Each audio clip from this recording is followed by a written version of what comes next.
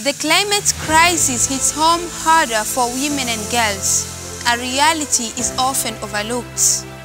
In many households, the women shoulder the domestic responsibility, especially in cooking matters. Consider Tanzania. 26% of people rely on charcoal, 63% rely on firewood, and only 5% rely on gas, and merely 3% of people use electricity as a cooking fuel.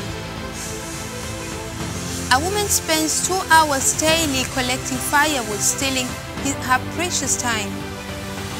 These precious girls on quitting school so as to assist their mothers. The primitive cooking method has dire consequences, premature death, respiratory illnesses affecting both mother and children.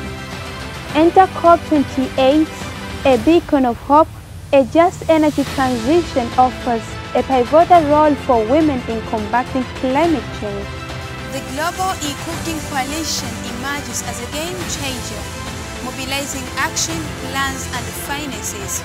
It is a key for saving lives, empowering women and fostering sustainable livelihoods.